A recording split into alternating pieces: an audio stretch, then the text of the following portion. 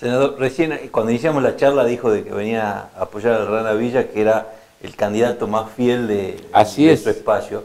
Sergio Massa también cumple eso, ese Mire, requisito? Sergio Massa es el candidato de la unidad, es el candidato que hoy este, garantiza que todo, el- frente de todos, hoy Unión por la Patria, estemos trabajando con un candidato único.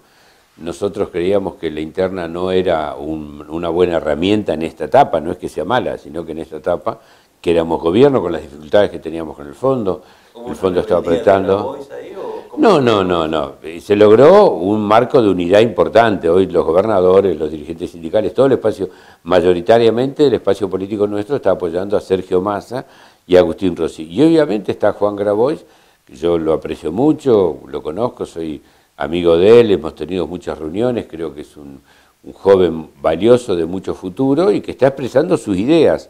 Bueno, habrá algunos que lo van a votar, pero él ha dicho claramente que el 14 de agosto se van a columnar detrás de quien resulte ganador y vamos a trabajar todos para que eh, la Argentina a partir del 10 de octubre bueno, pueda seguir la senda de lo bueno que hemos hecho y sin duda mejorar nuestra gestión porque somos conscientes de que hay demandas sociales, económicas y políticas que nosotros eh, nos comprometimos o que nuestro pueblo nos votó en el 2019 y que no hemos cumplido y que las tenemos que cumplir y somos honestos en reconocerlo y en decirlo.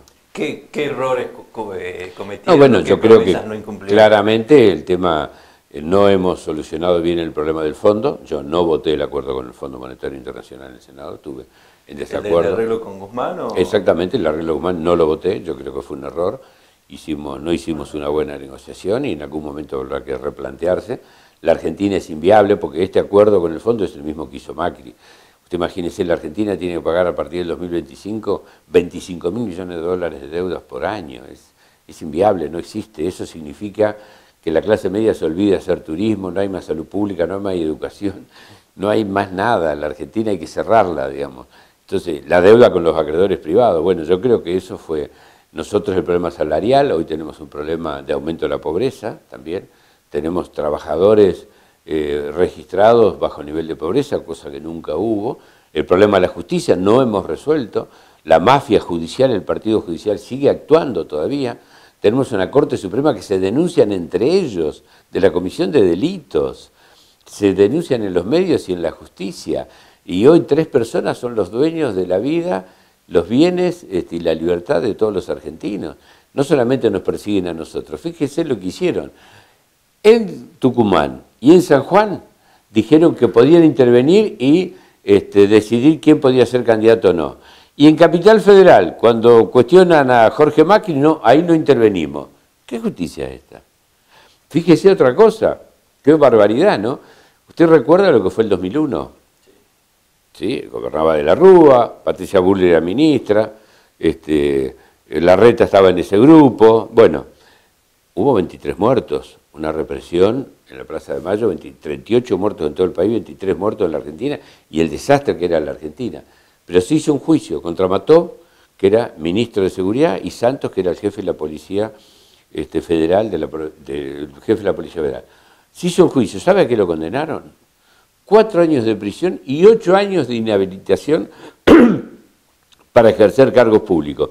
Y a Cristina Kirchner, en la causa de vialidad, por una supuesta hecha de corrupción en Santa Cruz, en Vialidad Provincial de Santa Cruz, la inhabilitan de por vida a ejercer cargos públicos. Entonces, ¿cuál es la vara que tenemos? Y la Corte dice, no, yo no me meto en esto. ¿Cómo que no se meten? Es decir, evidentemente tenemos un poder judicial que es el partido judicial y que lo que intenta hacer es, obviamente, tener, antes, como antes usaban los golpes militares, para reprimir a los pueblos y reprimir las políticas nacionales y populares, hoy tienen a eh, el Poder Judicial, algunos sectores políticos y los medios de comunicación con la bataola de este, eh, difamaciones, desacreditaciones de los dirigentes políticos. ¿no? Senador, recién dijo de que nombró bueno lo- los problemas que todo el mundo conoce, inflación, gente en pobreza y recién dijo sala- eh, asalariados que están... Así es. ¿Qué, qué fue lo que pasó? ¿La, la pandemia? ¿La herencia? ¿Hubo incapaz- incapacidad No, del yo, gobierno? nosotros fuimos críticos de la gestión, obviamente, de Guzmán, de Culfas. Creo que en el sector económico tuvimos errores, tuvimos inconvenientes Y hoy Sergio está tratando de ordenarlo, de arreglarlo. Mire, ustedes acá tienen el tema del litio, ¿no? Sí, eh, justamente le quería preguntar bueno, fíjese, yo le voy a contar lo que ha pasado con el litio. ¿no? El litio es un mineral que el mundo reclama. ¿Usted va la nacionalización o No, no, no. Las provincias son las dueñas del recurso. Eso yo sostengo, yo soy provinciano, no soy porteño, y nosotros los recursos este, son de las provincias, lo dice el artículo 124 de la condición. Eso no quiere decir que la nación no tenga que regular los derechos de exportación, los reintegros de las exportaciones, la industrialización en origen, eh, los precios a los cuales se exporta, bueno, pero le quiero contar lo que pasó. Usted sabe, el litio en este momento, Argentina, Chile y Bolivia, son los, tienen prácticamente más del 50% de las reservas de litio del mundo, que son las almueras. ¿no? Hay otro litio que se extrae de, las piedras, de la roca, como Australia, China, y que Australia es el primer productor de, de litio en este momento y China es el segundo.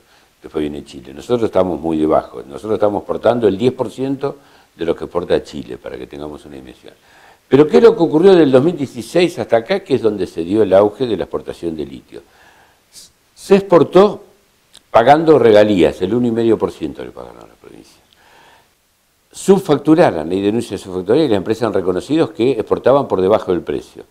El precio promedio que exportaban, que denunciaban ellas, era 2.200 dólares la tonelada cuando estaba a 20.000. Llegó picos de 50, 70 mil dólares. Hoy está estabilizado. Sí, hoy está estabilizado en 40, 50 mil dólares. Bueno, pero ¿qué es lo que había? El Estado argentino, porque venía desde la época de Menem, creo, les daba un reintegro a las exportaciones. Es decir, las empresas exportaban litio y el Estado les daba plata. Cuando uno hace la cuenta, yo saqué los números y hice hablé con Sergio Mazo y él tomó las decisiones. En estos seis años, desde el 2016 hasta incluido parte de nuestro gobierno, 143 millones de dólares le dio el Estado Nacional a las empresas mineras para que exporten litio. Es decir, le pagamos para que se lo lleven. Encima las empresas que hicieron, de esos 143 millones de dólares, 100 millones de dólares los fugaron al exterior, como formación de activo al exterior. Así que más vivo no podemos ser. Le damos plata para que, le damos dólares para que se lleven el litio barato, gratis. Bueno, esto lo cortó Sergio Massa. Desde octubre del año pasado dictó la resolución del Ministerio de Economía y no hay más derechos reintegros a las exportaciones del litio. Y las empresas no dijeron nada porque sabían que era plata de arriba que les venía, obviamente. ¿Qué es lo que tenemos que hacer? Primero, proteger el litio, obligar a las empresas cuando exportan a pagar los derechos sobre el valor real del litio. Yo creo que hay que aumentar los porcentajes de derechos de exportación y regalías, están bajísimos. Chile tiene el 40%, y sin embargo exporta. Tiene una empresa petrolera, perdón, de litio este, estatal, que comparte con las privadas, igual que Bolivia. Eh, y lo otro que tenemos que hacer es darle valor agregado en origen. Hoy se exporta el cloruro y el carbonato. Tenemos que llegar a exportar el dióxido de litio y otras etapas más. No sé si vamos a llegar a hacer baterías de litio, porque la batería de litio es un proceso muy complicado. Y de la batería, creo que menos del 10%. Menos del 5%. Pero sí darle valor agregado acá y, exportar con valor agregado. Eso tenemos, y eso es responsabilidad de la nación, no es responsabilidad de las provincias. Eso la nación tiene que tomar decisiones. Estas son las decisiones que tenemos que tomar el próximo año. Como también yo soy, y ustedes aquí en Salta tuvieron en su momento también producción de hidrocarburos de una provincia que tenemos vaca muerta. Está muy bien, todo vaca muerta, vaca muerta, vaca muerta. Pero si se van a llevar el petróleo y el gas, no van a dejar los dólares afuera, no van a pagar derecho de exportación, no van a pagar realía, somos tontos nosotros.